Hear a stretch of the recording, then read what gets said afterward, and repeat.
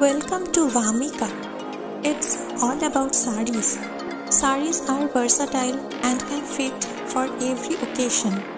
The origin of the sari or similar to this drap was traced in Indus Valley civilization first.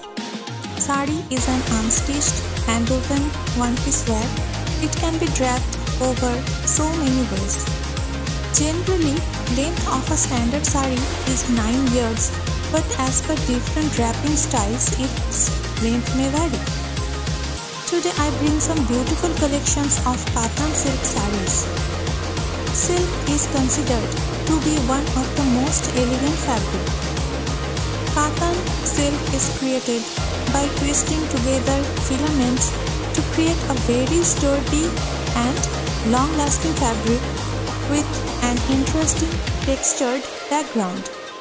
Thus, Katan silk is very easily identified by its unique look.